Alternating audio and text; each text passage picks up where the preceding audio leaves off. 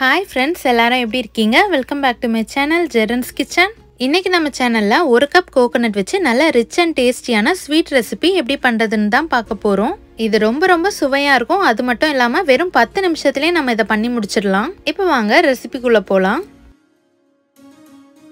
இன்றைக்கி நான் இந்த ஸ்வீட் பண்ணுறதுக்காக ரெண்டு கப் அளவுக்கு பால் எடுத்திருக்கேன். காய்ச்சின பால் காய்ச்சாத பால் எந்த பால் வேணால் நீங்கள் எடுத்துக்கலாம். நான் இன்னைக்கு ரெண்டு கப் சேர்த்து அரை லிட்டர் அளவுக்கு காய்ச்சின பசும்பால் தான் எடுத்திருக்கேன். இப்போ ஸ்டவ்வை வந்து ஹை ஃப்ளேமில் வச்சுட்டு இதை நல்லா மிக்ஸ் பண்ணி விட்டுக்கோங்க. இப்போ பால் வந்து கொதிக்கிற வரைக்கும் இதை நல்லா இந்த மாதிரி மிக்ஸ் பண்ணி விட்டுக்கலாம். நீங்கள் நம்ம சேனலை இப்போ தான் ஃபஸ்ட் டைம் பார்க்குறீங்கன்னா மறக்காமல் நம்ம சேனலுக்கு சப்ஸ்கிரைப் பண்ணிக்கோங்க. கூடவே பெல் ஐக்கானும் கிளிக் பண்ணிக்கோங்க. அப்போ தான் நம்ம சேனலில் போடுற ரெகுலர் வீடியோஸ் வந்து உங்களுக்கு அப்டேட் ஆகும். உங்களுக்கு பால் வந்து நல்லா கொதிக்க ஆரம்பித்ததுக்கப்புறமா நீங்கள் ஸ்டவ்வை வந்து மீடியம் ஃப்ளேமில் மாற்றிக்கோங்க இப்போ நான் ஸ்டவ்வை மீடியம் ஃப்ளேமுக்கு சேஞ்ச் பண்ணிட்டேன். இப்போ இதை நல்லா மிக்ஸ் பண்ணி விட்டுட்டே இருக்கலாம். இப்போ இந்த பாலில் ஒரு கப் அளவுக்கு மில்க் பவுடர் சேர்த்துக்கோங்க. உங்ககிட்ட மில்க் பவுடர் இல்லைன்னா நீங்கள் அரை லிட்டர் பாலுக்கு பதிலாக ஒரு லிட்டர் பாலாக எடுத்துக்கோங்க.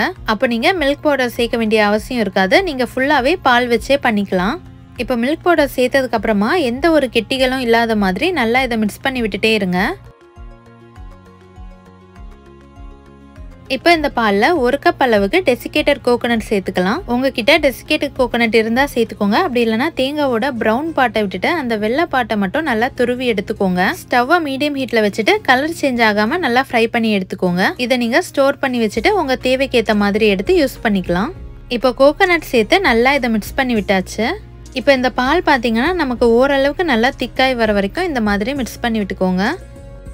இப்போ பாருங்கள் நல்லா திக்காய் வந்துருச்சு. நான் இப்போ இதில் நட்ஸ் பவுடர் ஆட் பண்ணிக்க போகிறேன் நான் இன்னைக்கு முந்திரி பாதாம் பிஸ்தா இது மூணுத்தையுமே வறுக்காமல் பவுடர் பண்ணி எடுத்து வச்சுருக்கேன். இப்போ அதை சேர்த்துட்டு நல்லா இதை மிக்ஸ் பண்ணி விட்டுக்கலாம். இது வந்து உங்களுக்கு ஆப்ஷனல் தான். உங்களுக்கு இன்னுமே நல்லா ஹெல்த்தியாகவும் நல்ல டேஸ்டியாகவும் வேணும்னு நீங்கள் விரும்புனீங்கன்னா நீங்கள் இந்த மாதிரி ட்ரை பண்ணுங்கள் அப்படி இல்லைனா நீங்கள் தேங்காவும் பாலும் மட்டும் வச்சு நீங்கள் ஃபுல்லாக இதை பண்ணிக்கலாம். மில்க் பவுடர் நட்ஸ் பவுடர் இது ரெண்டுமே ஆப்ஷனல் தான். வீட்டில் நட்ஸ் பவுடர் இல்லை மில்க் பவுடர் இல்லைன்னு சொல்லிட்டு நீங்கள் ஸ்கிப் பண்ணிட வேண்டாம். நம்ம வீட்டில் அவைலபிளாக இருக்கிற பொருட்களை வச்சே நம்ம இதை சூப்பராக ரெடி பண்ணிடலாம். இப்போ பாருங்கள் ஓரளவுக்கு நல்லாவே திக்காய் வந்துருச்சு. இப்போ நம்ம இதில் சுகர் ஆட் பண்ணிக்கலாம். நான் இன்னைக்கு அரைக்கப்பளவுக்கு சுகர் சேர்த்துருக்கேன். நீங்கள் ஒயிட் சுகருக்கு பதிலாக நாட்டு சக்கரை கூட சேர்த்துக்கலாம். முதல்ல ஒரு அரை கப் சுகர் ஆட் பண்ணிவிட்டு நல்லா மிக்ஸ் பண்ணி விட்டுக்கோங்க. அதுக்கப்புறம் உங்களுக்கு தேவைப்பட்டுச்சுன்னா இன்னும் கொஞ்சம் சுகர் ஆட் பண்ணி மிக்ஸ் பண்ணி விட்டுக்கோங்க. நம்ம சுகர் சேர்த்ததுக்கப்புறமா இது உங்களுக்கு லிக்விட் ஆகிட்டு அதுக்கப்புறம் மறுபடியும் இது கெட்டியாகி வரும். அதனால நம்ம இதை நல்லா மிக்ஸ் பண்ணி விட்டுட்டே இருக்கலாம். இந்த ஸ்வீட் பண்ணுறதுக்கு ரொம்ப டைம் எல்லாம் எடுக்காது. ஒரு பத்து நிமிஷத்துலேயே நமக்கு நல்லா இது திக்காய் வந்துடும் இப்போ இது நல்லா திக்காய் வந்துருச்சு. இப்போ நீங்கள் விருப்பப்பட்டீங்கன்னா இதில் ஒரு கால் டீஸ்பூன் அளவுக்கு ஏலக்காய் தூள் சேர்த்துக்கோங்க. கூடவே ஒரு டேபிள் ஸ்பூன் அளவுக்கு நெய் சேர்த்து மிக்ஸ் பண்ணிவிட்டு ஒரு பவுலில் மாற்றிக்கோங்க இப்போ பவுலில் மாற்றியாச்சு இப்போ இதுலேருந்து உருண்டை பிடிச்சிட்டு உங்களுக்கு பிடிச்ச ஷேப்பில் நீங்கள் ஷேப் பண்ணி எடுத்துக்கோங்க. நான் இன்னைக்கு ரவுண்ட் ஷேப்பில் தான் பண்ண போகிறேன் நீங்கள் எதாவது ஹல்வா மாதிரி கூட பண்ணலாம். உங்களோட விருப்பம்தான். அதே மாதிரி ஒரு விஷயம் சொல்ல மறந்துட்டேன். நீங்கள் இந்த ஸ்வீட் பண்ணும்போது ஒரு பிஞ்ச் அளவுக்கு உப்பு சேர்த்துக்கோங்க. உப்பு சேர்க்கறதுனால உங்களுக்கு ஸ்வீட் வந்து நல்லா திகட்டாது. உங்களுக்கு அந்த ஸ்வீட்னஸை வந்து அது பேலன்ஸ் பண்ணி கொடுக்கும்.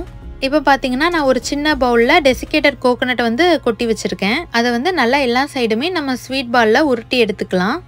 அப்படி இல்லைனா உங்கள் கையில் நெய் தடவிட்டு உங்களுக்கு பிடிச்ச ஷேப்பில் நீங்கள் இதை ஷேப் பண்ணி எடுத்துக்கோங்க.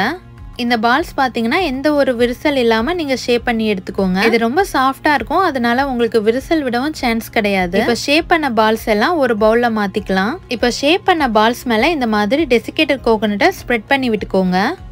நம்ம இந்த ஸ்வீட்டை டைரெக்டாக செஞ்சு கொடுக்கறத விட இந்த மாதிரி நம்ம டெக்கரேஷன்லாம் பண்ணி கொடுக்கும்போது கலர்ஃபுல்லாக இருக்கிறதுனால குழந்தைங்களும் இதை விரும்பி சாப்பிடுவாங்க. இப்போ இன்னும் கலர்ஃபுல்லாக இருக்கிறதுக்காக செரி பழத்தை எடுத்து இந்த ஸ்வீட் நடுவில் வச்சு லைட்டாக அழுத்து விட்டுக்கோங்க. நீங்கள் செரி பழத்துக்கு பதிலாக ரோஸ் எசன்ஸ் கூட நீங்கள் சேர்த்துக்கலாம். அப்படி இல்லைனா டுட்டி ஃப்ரூட்டி கூட நீங்கள் சேர்த்துக்கலாம். இது சேர்த்ததுக்கப்புறம் பாருங்கள் நம்ம ஸ்வீட்டோட லுக்கே சேஞ்ச் ஆயிடுச்சு. பார்க்கவும் சூப்பராக இருக்கும் டேஸ்ட்டும் அட்டகாசமாக இருக்கும். நாக்கில் வச்ச உடனே கரைஞ்சி போயிடும் உங்களுக்கு மில்க் ஸ்வீட் கோகோனட் ஸ்வீட் எல்லாம் பிடிக்கும்னா இந்த ஸ்வீட் ரெசிபி உங்களுக்கு கண்டிப்பாக பிடிக்கும் ரொம்ப டேஸ்ட்டாக இருக்கும். நம்ம இதில் நட்ஸ் பவுடர்லாம் சேர்த்து பண்ணியிருக்கிறதுனால குழந்தைங்களுக்குமே இதை தைரியமாக நம்ம கொடுக்கலாம். பாருங்கள் பார்க்கவே எவ்வளோ அழகாக இருக்குது பார்க்குறதுக்கு மட்டும் இல்லாமல் சுவைக்கவும் ரொம்ப அருமையாக இருக்கும். இப்போ நான் இங்கே ரெண்டு டீஸ்பூன் பாலில் கொஞ்சமாக குங்குமப்பூ ஆட் பண்ணியிருக்கேன். இங்கே பாருங்க நமக்கு ஒரு லைட் எல்லோ கலரில் வந்திருக்கு. நம்ம டெக்கரேஷனுக்காக பண்ணுற எல்லாமே ஆப்ஷனல் தான். உங்களுக்கு வேணும்னா நீங்கள் பண்ணிக்கலாம். இந்த மாதிரி கலர்ஃபுல்லாக நம்ம பண்ணி கொடுக்கும்போது குழந்தைங்களுமே இதை விரும்பி சாப்பிடுவாங்க. அதுக்காக தான். இப்போ ஒரு ஸ்பூனில் கொஞ்சம் கொஞ்சமாக எடுத்து அந்த செடியை சுற்றி இந்த மாதிரி விட்டுக்கோங்க. இதே மாதிரி எல்லாத்துலேயுமே பண்ணிக்கலாம். இது பார்க்க இன்னும் கொஞ்சம் அட்ராக்டிவாக இருக்கும். குழந்தைங்களோட பர்த்டே பார்ட்டியில் டெசர்ட் டேபிளில் கூட நீங்கள் இந்த ஸ்வீட் வைக்கலாம். வீட்டில் சடனாக யாராவது கெஸ்ட் வந்தால் கூட பத்து நிமிஷத்தில் நீங்கள் இதை ரெடி பண்ணி கொடுத்துடலாம். ரொம்ப ரொம்ப சிம்பிள் அண்ட் டேஸ்டியான ரெசிபி கண்டிப்பாக மிஸ் பண்ணாமல் ட்ரை பண்ணி பாருங்கள் ட்ரை பண்ணி பார்த்துட்டு உங்களோட ஃபீட்பேக்கை மறக்காமல் எனக்கு கமெண்ட்ஸில் ஷேர் பண்ணிக்கோங்க. உங்களுக்கு நான் இன்க்ரீடியன்ஸோட டீட்டெயில்ஸ் வந்து டிஸ்கிரிப்ஷன் பாக்ஸில் போடுறேன். மறக்காமல் அதை செக் பண்ணிக்கோங்க. உங்களுக்கு இந்த வீடியோவில் வேறு ஏதாவது டவுட் இருந்துச்சுன்னா மறக்காமல் எனக்கு கமெண்ட்ஸில் கேட்டுக்கோங்க. நம்ம சேனலில் நிறைய ஸ்வீட் வெரைட்டிஸ் இருக்குது கண்டிப்பாக ட்ரை பண்ணி பாருங்கள் இந்த வீடியோ உங்கள் எல்லாருக்குமே பிடிச்சிருக்கோன்னு நான் நம்புகிறேன் வீடியோ பிடிச்சிருந்தா மறக்காம லைக் பண்ணிக்கோங்க. அப்படியே உங்களோட ஃப்ரெண்ட்ஸ் அண்ட் ஃபேமிலிக்கும் ஷேர் பண்ணிக்கோங்க. நீங்க நம்ம சேனலை இப்பதான் ஃபர்ஸ்ட் டைம் பாக்குறீங்கன்னா மறக்காம நம்ம சேனலுக்கு சப்ஸ்கிரைப் பண்ணிக்கோங்க. கூடவே பெல்லைக்கானும் கிளிக் பண்ணிக்கோங்க. அப்பதான் நம்ம சேனல்ல போடுற ரெகுலர் வீடியோஸ் வந்து உங்களுக்கு அப்டேட் ஆகும். இதே மாதிரி இன்னொரு சிம்பிள் அண்ட் டேஸ்டியான ரெசிபியோட உங்களை அடுத்த வீடியோவில் சந்திக்கிறேன். Until it's bye from ஜெரன்ஸ் kitchen